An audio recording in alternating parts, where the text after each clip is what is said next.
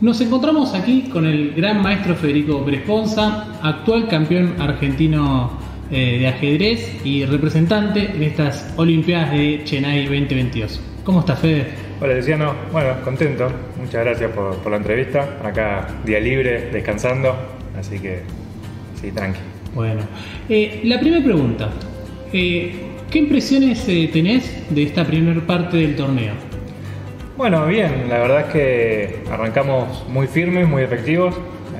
3-4 a 0 hubo. Eh, en lo personal, bueno, siento que las últimas dos partidas no, fueron tan buenas. Perdí blancas con, con Mamedov y ayer con eh, Cardoso de Colombia. Empaté, pero sufriendo bastante. La verdad que, estuve más cerca de perder que, de ganar. Y, bueno, el match de ayer se podría decir que fue el primero que a priori éramos favoritos. Empatamos. No es un resultado muy bueno, pero viendo cómo fue el match, eh, me parece que hay que poner la balanza que si bien creo que Crisa estuvo ganado en un momento, creo que Flores y yo podíamos perder y bueno, empatar terminó siendo más o menos eh, razonable. Bien, eh, sí, lo analizamos con, los jugadores y los capitanes, que Colombia era un equipo que por ahí, por el elo que tienen los jugadores y los títulos, eh, parece a priori un equipo normal, pero un equipo muy fuerte que seguramente va a estar mucho mejor en la tabla que su clasificación, ¿no? Sí, un equipo parejo, digamos. Todos están entre 2.430 y 2.490. Eh, teníamos 50 o 100, depende del tablero de, más.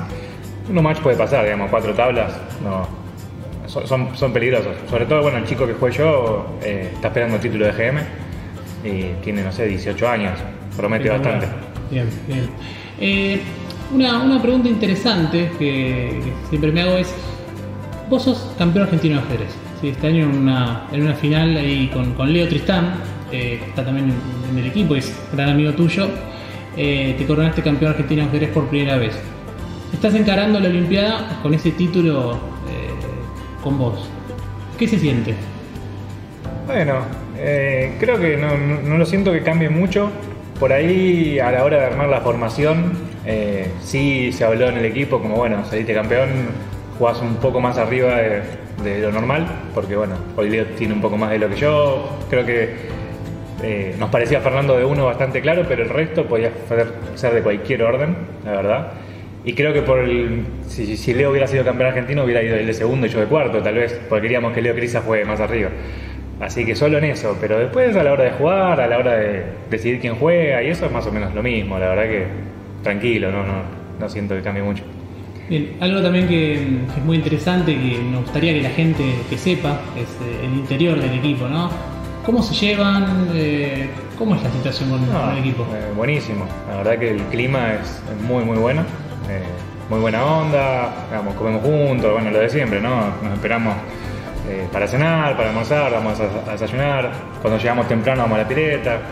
Eh, muy buen clima, la verdad que eso es lo más importante. Eh, porque bueno, nos ayudamos a preparar. Hoy, bueno, yo descanso contra Ucrania.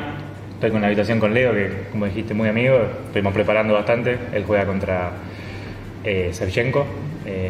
y después, un poco, bueno, Unga nos está ayudando ahí un poquito a cada uno. Y yo que no juego, les decía a los chicos, bueno, Diego, te ayuda con algo. Recién vine a instalarle Stockfish que, que no le andaba, así que por lo menos en el servicio técnico ayudamos. Y bien, a ver, esta es la, primera vez que se lo pregunto a uno de los integrantes de, ambas selecciones. ¿Me puedes definir en una palabra qué se siente jugar para, tu país en una Olimpiada? Y la, que más se me ocurre es orgullo. Estoy entre orgullo y pasión, pero orgullo me, me gusta. Como que de chico decía, bueno, ya lo dije en una entrevista hace poco, ¿no? Quería llegar a ganar maestro, salir campeón argentino y jugar Olimpiadas.